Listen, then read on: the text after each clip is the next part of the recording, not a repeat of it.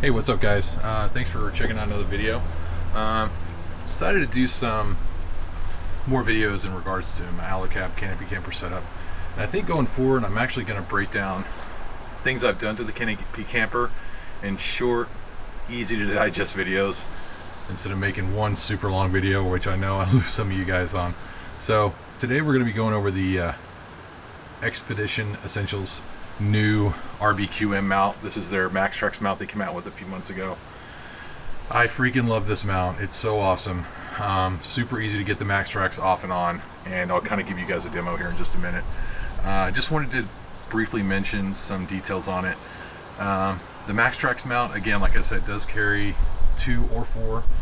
Based on how many Maxtrax you have, you can order that option on their website.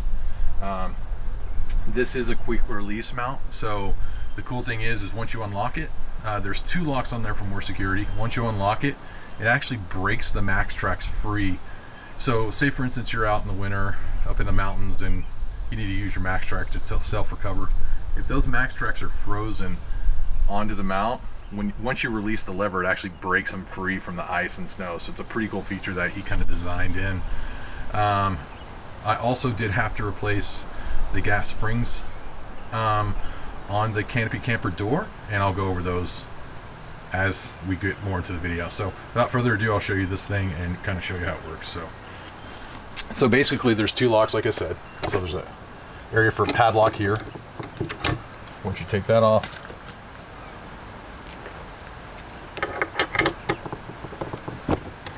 give him this key. And once you release that, it releases the Maxtrax from the mount. So you can drop those down.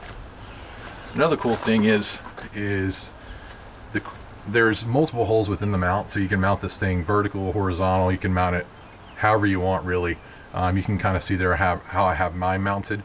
Um, I've used M10 stainless steel bolts uh, with nutserts into the canopy door. And um, this kind of gives you an idea of what the mount looks like without the Maxtrax on. So I did want to see show you the door. Actually, I'll put the Maxtrax back up and show you the door does work and function properly with the uprated springs. So go ahead and put the Maxtrax back in the mount. Show you how that.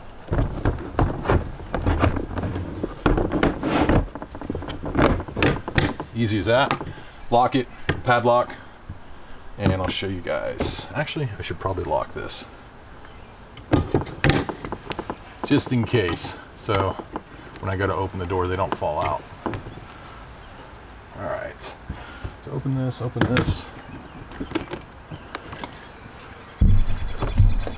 There you go.